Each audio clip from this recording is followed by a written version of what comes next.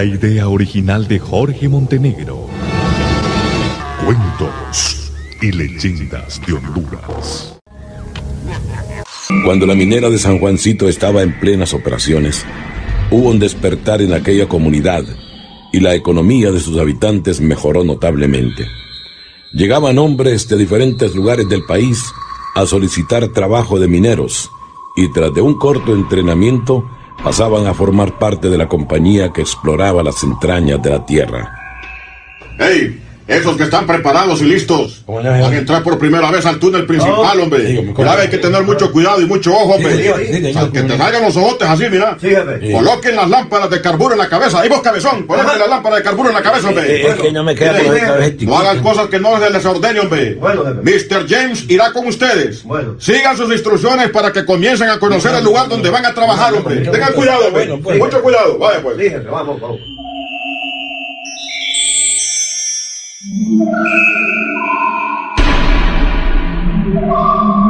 Los grupos que eran entrenados por expertos mineros norteamericanos se les proporcionaban los implementos necesarios, así como catimploras con agua. Los más experimentados bajaban a los túneles con facilidad, llevando entre sus manos piochas y palas. Los que cargaban la dinamita estaban mejor entrenados que los demás y sabían colocar cada carga en los lugares precisos. Eh, yo quería hacer advertencia.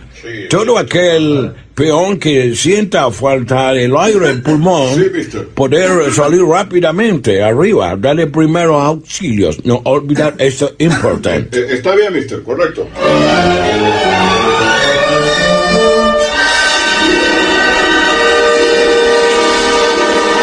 Después de aquellas largas jornadas de exhaustos trabajos en el interior de la mina, el jefe inmediato y parte del personal se trasladaban a San Juancito para quitar las tensiones, platicando y tomándose unos tragos. Otros disfrutaban de las heladas aguas del río. Cuentan que en una ocasión, mientras tomaban unos tragos, llegó un viejo a la cantina. El reloj marcaba las nueve de la noche. ¿Le sirvo un trago, tatita? A eso vengo. El camino ha sido muy largo. Por suerte, tienen abiertas estas horas. Lo que usted ve aquí son empleados de la Rosario. Eso está bien, que vengan a, a divertirse, porque la, la diversión también se Ya nos se termina llevo, un día de nuestra vida. Ya se lo llevo con todo y boquilla. Usted no es de por estos lados, ¿verdad? No lo, no lo había visto por acá, hombre. No, no, no, no. ¿Ya se siente bien? No, no, no soy de aquí, pero, pero una vez estuve aquí. ¿Usted también trabaja en la mina? Sí, yo soy uno de los jefes de la mina. Acá. Yo creí que todos eran gringos. Bueno, bueno, antes sí, pero ahora también los que nacemos aquí trabajamos como jefes, hombre, tenemos derecho, pues. Y, y, Dame la Coca-Cola, y- y- dígame, han sacado mucho oro. Mire, las ventas no están muy buenas por ahora, pero estamos siguiendo nuestro trabajo y lo estamos haciendo muy bien. Eso no tenga la menor duda. Linda, sírvale un trago al jefe. Ya se lo llevo, ya se lo llevo. Traguito con todo y boquita. Al contrario, yo lo voy a invitar, hombre. Ah, pues yo los invito, hombre. Así que. Bueno, hombre. Se nota que usted es un buen jefe y no un déspota como muchos gringos de la mina. Yo, yo trabajé un tiempo por aquí hasta que allá en 1940 hubo un derrumbe donde muchos quedaron sepultados y otros quedaron Y inválidos. ahí quedó con tos ahí, tatita. ¿Se se siente bien? ¿Ya no Ya, ya, ya, ya estoy mejor. Cla- claro que sí. Usted trabajó en ese tiempo. Sí, claro que sí. Por cierto que comenzábamos a tener serios problemas por la falta de seguridad. Ahora parece que las cosas han cambiado a raíz de ese derrumbe de la mina. Sí, sí, sí, sí, así es. Las cosas han cambiado. Ahora hay nuevo equipo, hombre. Hay más consideración para los mineros y para todas las familias. Hombre, ¿y, y usted a qué se dedica? Pues eh, después de tantas penas y sufrimientos, me dediqué a la agricultura, pero de repente descubrí que le puedo ayudar a la gente. Ah, ¿y, y- y de qué forma puede ayudar usted a los demás? Ah, curándole las enfermedades del cuerpo y las enfermedades del alma. Aquí están los tragos. Eh, eh, esta muchacha, por ejemplo, eh, está padeciendo de una enfermedad. ¿Quién? Yo. Sí. ¿Acaso usted es adivino? Más o menos. ¿Verdad que a usted se le nubla la vista y casi se desmaya de vez ¿Y en cuando? cómo lo sabe? Ah, eh, mire, eh, eso no importa. ¿Le gustaría curarse para siempre? Claro que sí. ¿Qué es lo que tengo que hacer? So- solo traiga un vaso con agua y yo le voy a dar el remedio. Hágale caso, Rosita, hágale caso. Me parece que este Vaya, hombre pues aquí sabe está el agua. hombre. ¿Ah? Aquí está el agua, vamos a ver. Ah, bueno, aquí está el agua. Ah, Aquí está la medicina.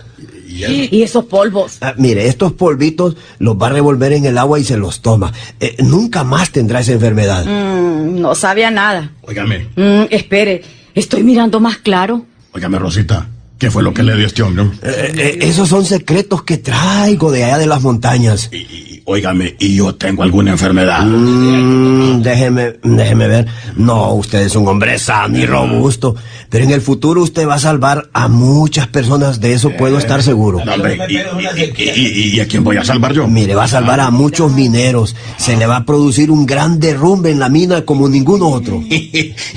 yo creo que a usted se le subieron los tragos, tatita. Hoy más que nunca, la mina sí que está segura, mire. No, no, no. mire, mire, mi amigo, en esta vida, mi amigo, no hay nada seguro. Hombre, mejor sirva a nosotros trago, Rosita. Este hombre me está cayendo muy bien, hombre. Trajeron guaro de allá de Agropoliva. El bueno. Sí, me decía usted, Rosita. Rosita. Es increíble. Por primera vez me siento bien de la vista. No, no siento mareos. Me mira bien, Rosita. Ajá. Bien, Ajá. Ya ve. Bien, bien. Yo se lo dije, bueno, solo me tomo el último y me voy. Hombre, pero ya, ya es muy tarde. Nosotros nos alojamos en unas habitaciones construidas por la compañía.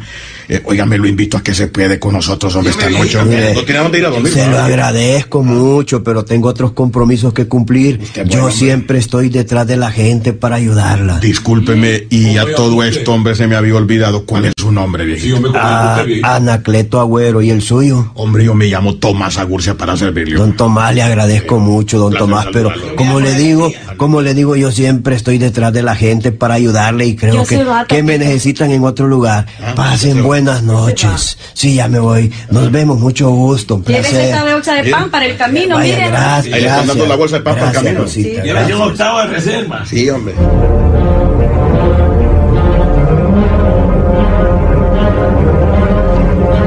El viejo se despidió de las personas que estaban en la cantina, pero don Tomás quedó pensativo. ¿Qué le pasa, Tomasito? Que lo veo con sueño, pensativo. Ay, mamá, es que estaba pensando que a ese viejito yo lo he visto en algún lugar. Yo estoy dándole vueltas y vueltas a la cabeza, pero, pero no recuerdo a dónde he visto a este viejito. Ese viejito sí sabe. Sí, hombre. Viera que me siento muy bien. ¿Y dónde es que lo vio antes? Eso es lo que no recuerdo, hombre, Rosita, pero tengo la sensación de que a este señor yo lo he visto en algún lugar, hombre. Yo no sé si allá en tu paciente. Lo que pasa es que en este momento todo se me hace confuso, hombre. No recuerdo dónde es que lo he visto, hombre. Es que los viejitos así son, todos se parecen. ¿Dónde he visto a este señor, Dios mío, hombre? ¿Dónde lo he visto yo, hombre? No me acuerdo.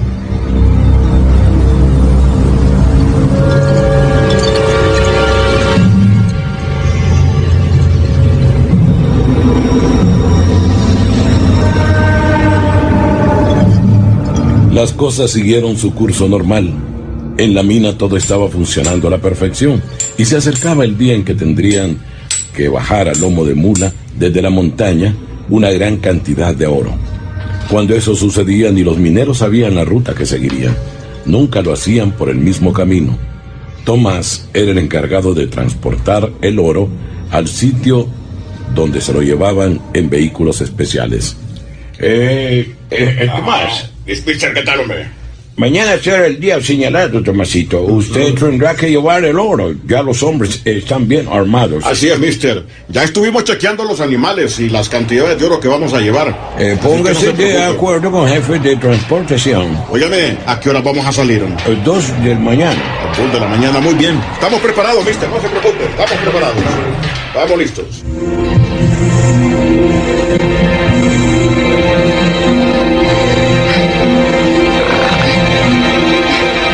Tal como se había planeado, los hombres emprendieron el viaje a las 2 de la mañana.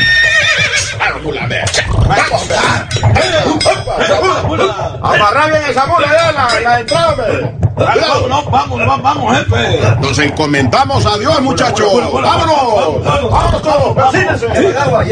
Arriba esa mula,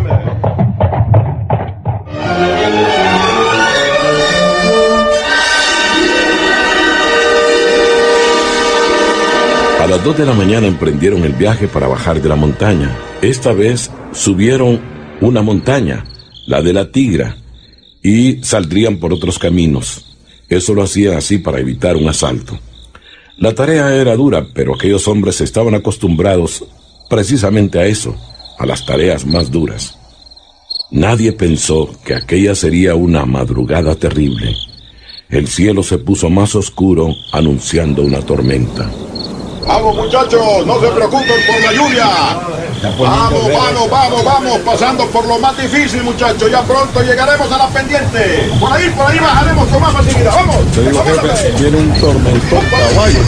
Sí, sí, sí, lo sé. Eso debemos de, de, apresurarnos. Hay que apresurar el paso. Aquí las tormentas son terribles. Hombre. Deberíamos de quedarnos aquí a subida, jefe, que pase la tormenta porque los animales están asustando. Sí, eh, está bien. Recojan las mulas lugar, muchachos. Recojan esas mulas.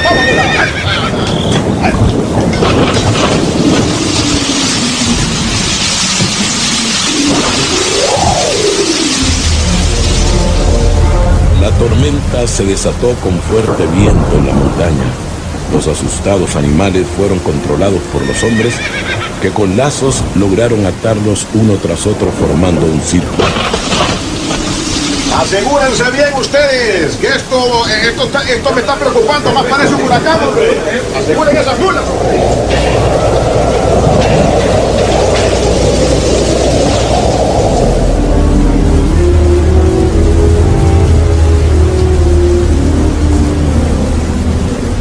Efectivamente, vientos huracanados azotaban en ese momento a la montaña. Los hombres trataban de protegerse bajo los árboles mientras los animales inquietos se mantenían en un círculo. ¡Ey! Si todavía le sobran cuerdas, hombre, amárrense a un árbol. Estos se están poniendo muy feo, hombre. Agárrense bien todos. Sí, jefe, voy a pasar a vos para que... Aquel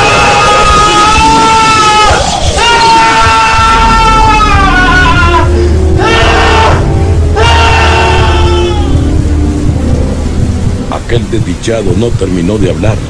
Fue levantado por el viento como una pluma y desapareció en medio de aquella horrible oscuridad. ¡Eh, cuidado, hombre! ¡Mira! ¡Se fue! ¡Se fue! ¡Mira! ¡Sí! ¡Uy, hombre! ¡Sí, quiera Dios! ¡Dios mío! ¡Protéjanos, Dios mío!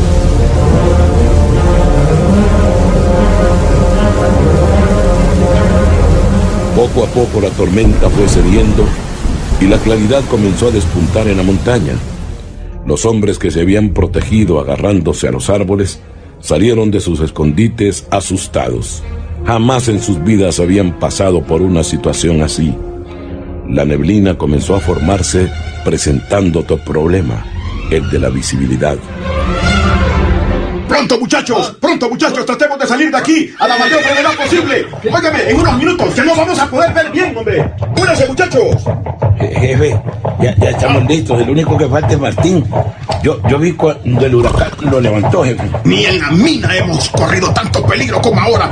Yo vi cuando el huracán suspendió a Martín por los aires y luego solo escuchó un grito de quién sabe a dónde fue a caer el hombre de Martín. Esta es cosa del demonio, patrón. ¿Y por qué dices eso, hombre? Ah, porque eh, eh, el oro es del diablo. Dice la gente de San Juancito que a medianoche escuchan que de la mina bajan malos espíritus. Yo, yo, yo, yo- Por eso es que ponen unos grandes candados en las puertas. yo nunca he visto cosas ni en la, ni en la mina de San Juancito. hombre. Pero eso es lo que se dice, jefe. ¿Ah? Yo siempre, Quiera Dios. sinceramente, jefe, se lo diré, el último viaje que hago con usted. No, por eso voy a dejar de trabajar en la mina, jefe. No, No, mira, lo, mira, lo importante en este momento es bajar de la montaña. Así que antes de que la neblina nos cubra, todos debemos de sacar esas mulas de aquí inmediatamente. Claro que las vamos a sacar. orden ahí ligero. Sí, hombre. claro que las vamos a sacar. Iba amaneciendo cuando los hombres, haciendo esfuerzos supremos, lograron salir de la cima de la montaña cuando la neblina se estaba volviendo más espesa, muy espesa. A lo lejos se miraba una claridad como si los rayos del sol se negaran a salir. Cuando llegaron a un claro en una pequeña aplanada, el jefe ordenó, Muchachos, démosle gracias al Todopoderoso porque logramos salir de ahí. Gracias a Descansemos mientras, mientras amanece, muchachos. Gracias, Gracias, Señor, por este Señor. milagro. Gracias, Diosito, por habernos salvado. Los hombres amarraron de nuevo las mulas en círculo para evitar que se asustaran y darles mayor protección. Todos estaban asustados y agotados, pero alegres de saber que habían salido del problema, de aquel gran peligro. Cuando los rayos del sol comenzaron a aparecer, y a pesar del frío que hacía, sentían el pesar de haber perdido a un amigo y compañero de trabajo. Usted sí sabe cómo guiar un grupo, señor. Nos hemos salvado. Allá estuviéramos todavía. Mira, es Dios. Dios nos, Dios nos ha ayudado. Dios ha sido bueno con nosotros. Eh, eh, eh, ¿Cómo se sienten los demás, hombre? Estamos contentos porque salimos del peligro, patrón. Únicamente lamentando la muerte de Martín. a la vuelta queremos venirnos por aquí para buscar su cadáver, patrón. así lo vamos a hacer, así como vos decís. Así Nunca supimos si Martín tenía familia. Él dijo que era de Choluteca, pero jamás dijo algo de su gente. A lo mejor era un hombre solo. Es posible, es posible. Decirle a los muchachos que en cinco minutos nos vamos. Aquí solo nos falta bajar a la carretera. Sí, señor, sí, señor. da la orden ahí. Sí, señor.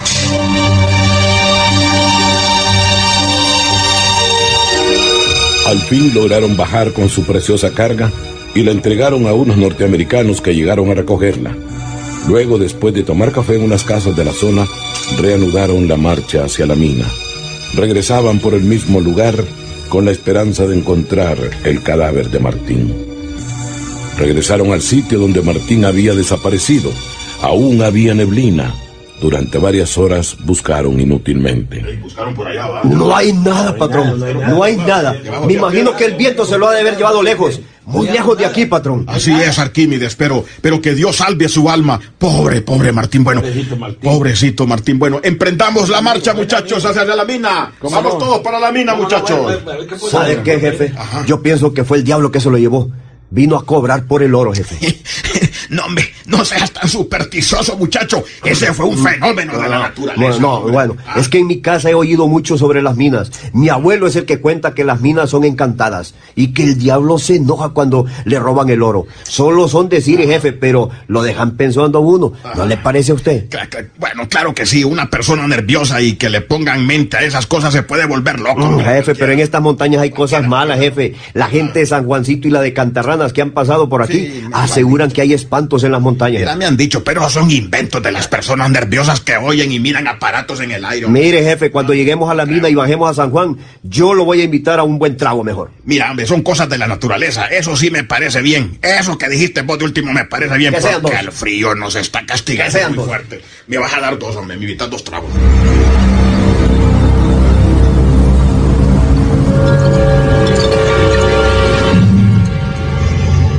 Se aproximaban a la mina cuando escucharon el tropel de unos caballos que bajaban de la montaña.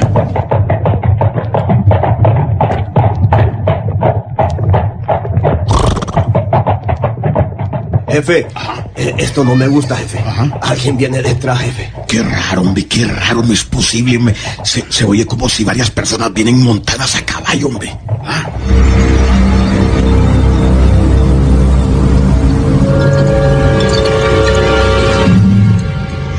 Repente el cielo se puso oscuro y la misma oscuridad llegó a la tierra. Dios mío, jefe, se está poniendo de noche. Muchachos, vénganse para acá, hombre. Hagamos un círculo, hombre. Hagamos un círculo. Todos hicieron un círculo y se escuchó con más fuerza el tropel de unos caballos que se acercaban.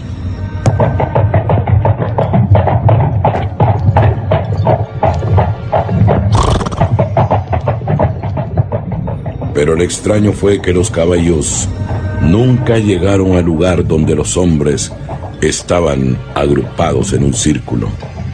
Dios mío, esto es cosa mala, hombre. Muchachos, vamos a rezar todos. Señor Dios omnipotente, salvanos de las garras de Satanás. Salvanos de su cólera por haber arrancado el oro que le pertenece. Salvanos, Señor. Te prometemos que nunca más trabajaremos en la mina, pero, pero salvanos por nuestros hijos y nuestras familias. Sébanos en el nombre, en el nombre de tu Hijo Cristo Jesús, hombre. Salvanos, Señor.